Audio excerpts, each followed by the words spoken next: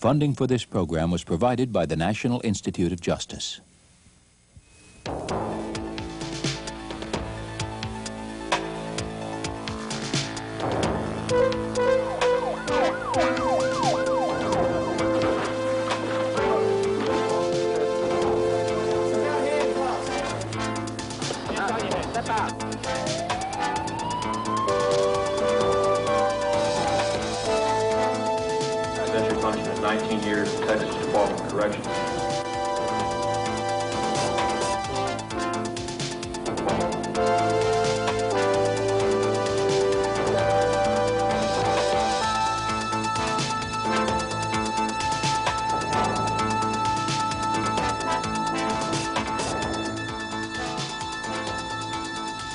I'm James Wilson.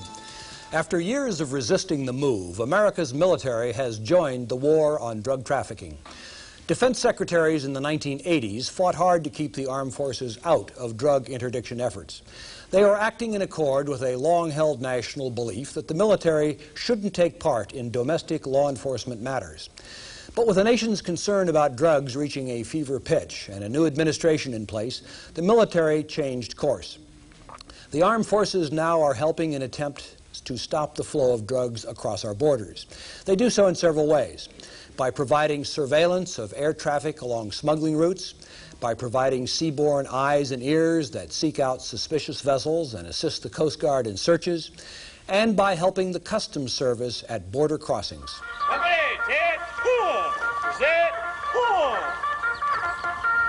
These men and women are members of the Texas National Guard.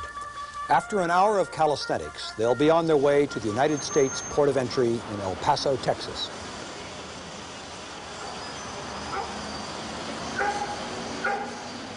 Since 1989, approximately 60 of them have been assigned to work alongside customs inspectors trying to interdict the flow of drugs from Mexico to the United States. They work with the customs officers in the um, area of cargo examinations and commercial vehicle examinations. Uh, we examine the empty trucks as they come into our compound with the guard. We use the guard uh, along with our officers to break down the cargo that's in the trucks and verify the contents of the, uh, the manifested cargo. They also deploy with our officers to other locations where we examine uh, commercial aircraft, air freight, and um, the railroad that uh, crosses daily from Juarez. The Guard spends most of its time methodically inspecting commercial vehicles that customs inspectors target as suspicious. The reason that this truck was selected is because uh, it's a little abnormal other than the rest of them. You have to empty it completely to get to the front of the truck. Our interest right now is not necessarily only the melons, but the container itself. It's coming from the interior, straight from the interior of Mexico. It took most of a day for several National Guardsmen to comb through this one melon truck. Each box, after it was removed, was x-rayed individually. Basically what we do is we get in the cabs and look around, poke, poke around on the tires and the gas tanks and so forth because these people can hide that stuff anywhere. There's about 100 places on one of these diesels you can put the drugs. And we'll try to look at all of them. And we do that for eight hours a day, six days a week, sometimes seven if they need us. We do need more National Guardsmen. I mean, that's a big plus for, especially here in the Port of El Paso. It's so busy that you've only got so many inspectors and we're always short-handed that the more the merrier. Customs inspectors say they welcome all the help they can get. Stopping the flow of drugs along the 1,000-mile border Texas shares with Mexico is an awesome task. This border crossing is one of the busiest in the Southwest. On a typical day, approximately 47,000 cars and 1,600 trucks cross the Rio Grande River from the Mexican city of Juarez into El Paso. The Guard has made a big difference in the number of commercial vehicles they've been able to inspect. I think that the Guard has been very beneficial to our efforts down here in El Paso. Um, while we're restricted in utilizing them to just cargo examinations, we have been able to significantly raise the amount of cargo that we look at. Um, approximately, we've gone from about a 5% examine rate up to uh, about a 37% examination rate, and we could not have achieved that without the assistance of the Guard. All of the National Guard involved in the drug searches are volunteers. Although they do not want their identities revealed, they say they are proud of what they are doing. The reason why I'm here is I want to try at least to stem some of the drugs coming into this country. I've seen what it can do to people. So I'm going to try to do my damnedest to stop it. You feel great when you find something. It's accomplishing. It's keeping a drug from getting to to uh, to your sons, to someone else's sons, to their daughters. It's a good feeling. It's rewarding to know that you've stopped it here before it's had it distributed somewhere else. The National Guard has had an impact on the amount of narcotics that we've seized here in El Paso, although it's been a subtle one. We haven't, uh, with their assistance, really found any major uh, loads of narcotics in our cargo area, but we feel that with our heightened intensity of examinations, we've driven the smugglers from using cargo shipments to using private vehicles. And instead of uh, coming across the border with one truck with, uh, say, 10,000 pounds of marijuana. They're shotgunning smaller amounts of marijuana in the, in the range of 150 to 300 pounds that are concealed in private vehicles through our bridges. This room contains nothing but marijuana that has been seized in the past year or so. And we keep it here until we get the disposition order to destroy it. So far this year, 14 tons of marijuana and more than 8 tons of cocaine have been seized. Still, customs inspectors don't know if they're having any real effect on the drug trade. As far as trying to determine the amount that actually gets across the border and into um, the interior of the United States, that's very difficult. Uh, one of the ways we like to see what our impact is is to see what the current price of the drugs is. Uh, the drugs are uh, on the streets of America, and uh, despite the record seizures we've made all across the country, uh, we really haven't seen that, that much of a price drop for any of the contraband. As for the Texas National Guard in El Paso, they say they're ready and willing to do more. I think the military needs to jump in full guns on this because it's a it's a growing problem. It's getting larger every day, and if we could get a lot more military support, I think a lot more could be done. Really do. I think the military should be more involved. We've got the resources to do it. We've got sophisticated listening equipment, we've got sophisticated optical equipment, we've got helicopters, we've got vehicles that can cross country that some of these RVs and stuff that the Border Patrol has can't make it to. And we've got the manpower. Why can't we do it as part of our maneuvers or something else? No reason why we shouldn't be able to. With me to discuss these matters are Michael Wormuth, the Deputy Assistant Secretary of Defense for Drug Enforcement Policy, and Peter Reuter, Senior Economist at the RAND Corporation. Secretary Wormuth, uh, the, the uh, Secretary of Defense has stated that he wants the Department of Defense to attack drugs at the source country in transit from the source country and at the border when it enters the source country. What exactly has Congress authorized the DoD to do? Well, in 1988, in the fall of 88, Congress directed the Department of Defense to take on three major new missions in counter narcotics. First, to serve as the single lead agency of the federal government for aerial and maritime monitoring and detection of the illegal transit of drugs into the United States. Secondly, to integrate the command, control, communications, and technical intelligence assets of the federal government into an effective communications network, basically to get everybody talking to each other on the same types of radios and other equipment. And finally, to expand and enhance the role of the National Guard operating in a state status under the control of the various state governors to help federal, state, and local law enforcement agencies. Many American people would say this step was long overdue. What was the reason why there was skepticism or resistance in the Defense Department before these new initiatives? Jim, I think that there were reasonable beliefs, uh, good faith intentions on the part of both the policymakers and the military leaders, a very strongly held belief that to involve the military in an activity like this might very well take away from the preparedness of the military to do other critical national security missions. Uh, that belief was held, excuse me, was held for a long time in, in prior administrations. Uh, again, probably with the best of intentions. Uh, it has proven not to be the case as the military has become more involved in, in the counter-narcotics This effort. is not seen now as contradictory to maintaining general preparedness for other military missions. No, as a matter of fact, a lot of the things that the military is doing now is, is good training, realistic training. Uh, in a lot of different areas, there are military commanders all over the world who are saying, reporting back through their channels, that the things that soldiers and sailors and airmen are doing actually contributes to readiness and to training rather than being a detractor from it. There was also a concern that uh, the military might become involved in domestic law enforcement in a way that would run afoul of something called the Posse Comitatus Act, passed in 1878. Tell us briefly what that act was all about. Well, the Posse Comitatus Act basically was a response to some of the things that were going on in that time. For instance, the lawlessness in the West and the propensity of people, of local law enforcement in the West, to call out the cavalry. Uh, the law was passed and basically said that no one can direct the military services to enforce the laws of the United States. And there's other statutory language that, that more clearly defines what that means and says that the military can't be used in searches, seizures, arrest, or other similar activity.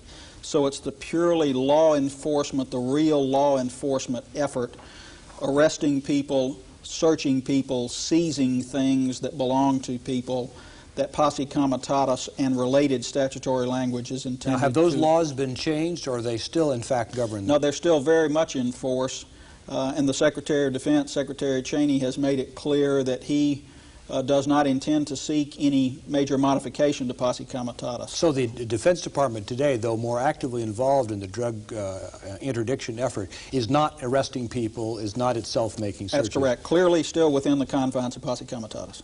Now, let's go through the three things that uh, you mentioned that the Defense Department is trying to do. First of all, detection of air and sea traffic. Uh, how can you do this when there are, at any given time, hundreds of ships at sea, hundreds of planes in the air approaching the United States? How do you know what is a drug carrying plane or ship and which is not? Well, as you can imagine, intelligence is a key to almost everything that we do and everything that we do in cooperation and association with the law enforcement agencies. You know, our role, even in the monitoring detection mission, is to support law enforcement in the tail end of the interdiction process, and that's the arrest, search, and seizure. So, from intelligence from a lot of different sources, we try to direct assets, airborne radar assets or seaborne assets, to places where we have determined from experience are the, the corridors that the traffickers are using, or in, in a lot of cases, uh, uh, certainly in, in recent months, where we now have gained intelligence to be able to direct assets to particular spots, whether it's in the Caribbean or closer to our own borders, where we have good reason to believe that traffickers are Well- actually proceeding. We'll come back to this in a minute to find out how well this is working. Let me turn now to Peter Reuter. Dr. Reuter, uh, the military's role here is an effort to improve our interdiction, that is to say, to reduce the amount of drugs coming in to our borders. Uh, how well do you think, in principle, the military can improve that effort? Does interdiction make a difference, even if well performed? I, th- I think interdiction is inherently a very limited instrument against a drug like cocaine, which is very compact uh, per unit value. The amount of cocaine that is used in this country can be imported annually in probably two cargo planes. Uh, interdiction against a drug like marijuana, which is relatively bulky, can be effective at least in keeping foreign marijuana out. Our problem with marijuana is, is more keeping uh, production in, inside this country down. But I think that interdiction against cocaine is inherently very limited, in part because when the drug enters this country, it's very cheap, so that um, it sells for, in Miami, for probably $15,000 a kilogram uh, when the smuggler sells it to the uh, importer. It sells on the street for maybe almost 10 times that. You can lose a lot of cocaine at the border before you have a big effect on the price of cocaine in the U.S. Let me make sure I understand this. It would seem to me, perhaps because I ha- operate in a more limited budget, that if somebody took away from me on a regular basis items that were worth $15,000 per kilogram, uh, that I would feel that pinch. And even though I, they might not be taking away all of my livelihood, they would be taking away enough of it so that it would make a difference in how I chose to spend my life. That doesn't occur in your view. Well, it, look, interdiction is sort of like a taxing system. That is, we take away 10%, 20%, 30% of all the cocaine that enters this country. And it's like a 10, 20, 30% tax uh, on smugglers at this stage. The question is, can they pass that tax along without greatly increasing the price at the retail level and hence reducing consumption in this country? And the answer to that question and is? The answer, the answer to that question is uh, no. Uh, it's very hard to raise the tax rate to such a level that you can really make a difference to the retail price in this country and hence reduce consumption. Would you then favor saving money, eliminating interdiction efforts, and spending our money on something else instead? No, the, the question is not whether interdiction should be zero or should be everything. The question is how much should we spend on interdiction in the total budget? And I would say now that, that interdiction is getting less of the federal uh, drug budget, and that's probably appropriate.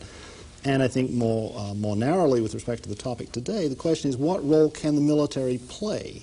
I mean, the military have some special assets that seem very relevant to interdiction. They have certain kinds of technologies, they have an organization that has certain kinds of training, etc. And the question is, are there ways in which we can use those assets to support uh, what is the, the, the, interdiction effort that will inevitably primarily be in the hands of civilian agencies like the Customs Service? Well, let's suppose we use the military in other ways. They have technical assets, but they also have a great deal of manpower. Some Americans who are so frustrated with the drug problem facing this country wonder out loud why we don't send the military to Peru or Bolivia or Colombia and, and quote, clean up the mess, unquote. Well, I think that there is a, a, a, proper concern about interfering in the domestic affairs of that nation. Now, it's true they're exporting something to us that causes us a great deal of trouble, but our ability to, to go in and sort of reconstruct the government of Peru, so, whether with military means or otherwise, so that it can effectively administer its territories is inevitably very limited. And I think that there's a real reluctance on the part of of uh, thinking people to, to do that. Now, you said something interesting a moment ago. You said that the federal government has reduced the share of its money mm-hmm. on drug programs going to interdiction. Uh, where has it taken the savings and put them? Well, the, the drug budget has expanded enormously over mm-hmm. the last two years. It's probably almost doubled uh, in that time period. So, interdiction, the amount of money going to interdiction particularly the amount of money going to interdiction under the military budget, has gone up substantially. But when you look at it as a share of what the federal government is spending on uh, controlling the drug problem in this country, the interdiction share has actually started to go down. During the 80s, it was going, through most of the 80s, it was going up substantially. Uh, Mr. Secretary, Peter here is uh, uh skeptical that the uh, even adding the military's resources to interdiction will make a big difference in the amount of cocaine available on the streets of America. Do you agree? Well, Secretary Cheney has said that interdiction alone is not going to solve the problem, that it has to be a combined effort. It has to be education, prevention, treatment, all of the combined efforts of all of the federal agencies on both the supply and the demand side. It has to, to be community-based efforts, local efforts, state efforts, and federal efforts. Interdiction alone will not solve the problem, but we believe that you can't solve the problem without interdiction. You simply can't stop doing interdiction because you think that it may not be effective. And, you know, we really haven't yet gotten to the point where we are doing the most effective job, perhaps, that we can do in the interdiction effort. As the, the Defense Department and all of the other federal, state, and local law enforcement agencies are learning to work more closely together, we're already starting to see that we're making some inroads. It's going to take some time. It's not going to happen in two months or six months, perhaps not even in two years or six years. You know, the President's National Drug Control Strategy that was uh, that was released in September of 1989 has as a goal to reduce drug abuse by 50% over 10 years. Now, maybe the American people don't want to hear 50% over 10 years, but it is, in fact, a long-term problem. It's not going to go away overnight. Let me just press you on this for a moment, if I can. We've had interdiction efforts, albeit at a less uh, emphatic level in the past, and yet if we look over the last 10 or 15 years, the statistics seem to show that the street price and purity of cocaine uh, has remained unchanged. That is to say, the price has been low or even become lower, the purity has been good or even become better, suggesting that this tax that Peter Reuter says is the effect of interdiction on the drug supply, this tax hasn't taxed anybody out of business or even hurt them. So if that's the case, and I don't know whether it is the case, then should we be spending any effort on interdiction? Well, we are being we are becoming more effective every day. I don't know that you can always measure something in terms of the street price. Certainly over a long period of time, that's probably one measurement to use. But there are a lot of resources being devoted to this problem that really have just started being devoted to it. And I, I really don't think we've had the time to see whether or not we're really affecting the price because cocaine, it's only in the last three or four years that it's really gotten to be the number one drug problem. And we're now learning how to go after it in source countries, and a lot of those countries down there are trying very hard to attack the problem. And we're getting better approaching our borders on the high seas and in the air, and we're getting better at the borders themselves. Well, so we'll we've just got to give it some time. We'll come back in a moment and talk about some of these source country efforts, but let, let me first ask Peter Reuter. Crack cocaine is abundantly available. Uh, do you think that interdiction has can make, even if we step up our resources, uh, much of a dent in the availability of crack cocaine? No, I really do not think that interdiction, if we, if we were to say double the interdiction budget over the next couple of years, I do not think that would make a substantial difference. The American public would find that uh, very grim news because they like to believe this battle can be fought totally at our borders or outside of the country. I- no, it, it, is- it, is- it is, uh, I mean, I think source country programs are even more appealing to Americans precisely because it sort of has that fundamental sense. We'll stop them growing it, and that, that's the problem. Well, what about the next country? best? Okay, uh, source country programs, I, I must say, I think, uh, uh, you know, have even less prospect of making a difference. You're saying that if we somehow train local police and military forces to to get at the coke labs and that we provide subsidies for farmers to go out of the coca raising business and grow something else instead, that this will not have any effect even though it's directed right at the source? Again, I think you have to look at prices to sort of understand the inherent limitations of this. The, the, the coca leaf that goes into a kilo of cocaine costs less than $1,000, maybe only $500 uh, in Bolivia or Peru. Even if we sort of make it so that, that uh, peasant farmers are at risk of losing their crop because the police come around and eradicate or spray them, for, so that we force them to go into smaller areas, more camouflage, so they become higher cost producers, we just we can't raise the leaf price enough that it makes much of a difference here. And we sort of have some notion of the of the, the uh, how far we can get through these source country programs by looking at Mexico. Mexico is compared to Peru or Bolivia, a relatively wealthy country, well governed, etc. There's a great deal of corruption in the in the uh, in their drug control program, but they have a very severe I mean, they, they have been very stringent in their efforts to eradicate drugs, uh, eradicate uh, marijuana and, and opium production, and yet by 1989 they were producing record amounts of both uh, marijuana and, and opium. I think there's it's an inherently eradication, even crop substitution programs are inherently very limited uh, programs. Mr. Secretary, your views on this. Um, the Secretary of Defense stated that moving to the source country was one of the missions he wanted the Defense Department to, to take under uh, advisement and to pursue. What does a source country mission mean from the point of view of the Defense Department? What can you do in a source country? Well, from the Department of Defense standpoint, and of course this again is is a combined effort of a number of federal agencies and includes things like crop subsidies and economic assistance. But from purely the Department of Defense standpoint, we can go in with a lot of expertise and not engage in the actual operations. We don't use U.S. military forces to go out on drug eradication operations or lab seizures or things like that. But we do help them plan those operations. We can support them logistically. We can train both military and police forces to do those operations by training them in base camps and by supplying them with, with equipment and resources to, to be more effective in their own operations as they go out in eradication in lab seizures.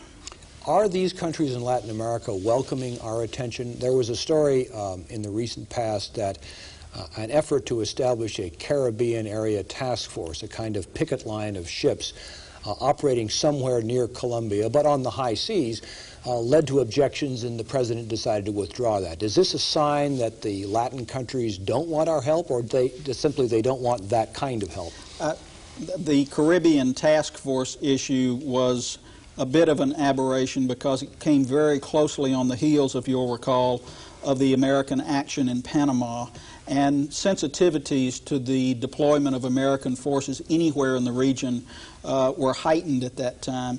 But we are doing a lot of things in source countries with military resources, not, not necessarily just personnel resources. In fact, to a very great extent, it's other types of resources, equipment and logistics and operational and planning support. But we do all of it that we do down there in those countries, specifically at the request of the host country itself. It's all very coordinated with the U.S. embassies and the host nation military or police forces. So, yes, they, they do welcome the support, and we're providing it in increasing amounts as they come to us with requests for assistance. One important question that has occurred so far we haven't addressed, and the viewers may be confused about this. What exactly do the powers do the American military possess on the high seas or in international airways to stop and search a ship or an airplane? As an example, in the Caribbean on any given day in the past few months, the U.S. Navy will have four or five vessels operating in that entire Caribbean region. But on board each one of those vessels is a Coast Guard law enforcement detachment, what we call a LEDET. And in fact, anytime that ship is engaged in operations that would involve contact with a vessel, vessel of a foreign nation, the law enforcement detachment people are in control of the operation. They would direct then the ship to go and pull alongside the other vessel so that the Coast Guard officers then could direct a search of a vessel, for example. And if the so, other vessel doesn't stop, uh, what are our legal powers or our military capacities in that regard? In that kind of situation, we, the, the Navy vessels would operate under what are known as Coast Guard rules of engagement. The Coast Guard law enforcement detachments could, in fact, direct warning shots or even disabling shots into a vessel that did not stop after having received proper direction to do so and having involved the procedure where uh, calls are made back, in effect, to the Coast Guard headquarters to get permission to fire those warning or disabling shots. Peter Reuter, uh, in conclusion, if interdiction is limited in your view, where should most of our dollars be spent? Uh, where they in fact are being spent, oddly enough, which is at the, um, well, sorry, take it back. I think that we need to build a treatment system that works, a, a, treatment system in the public sector that works, and I think that we need to accept the fact that in terms of, of enforcement efforts, it's got to be primarily at the, the street level or the lower levels of the distribution system, and perhaps even uh, using uh, law enforcement against users. Thank you, gentlemen, and thank you, ladies and gentlemen, for watching. For Crime File, I'm James Wilson.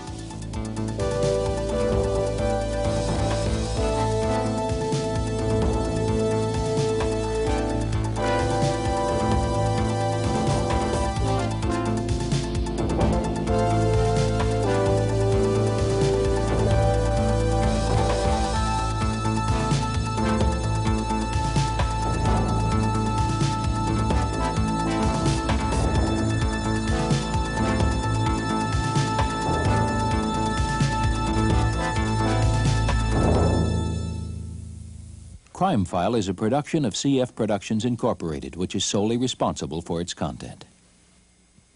Funding for this program was provided by the National Institute of Justice, research arm of the U.S. Department of Justice.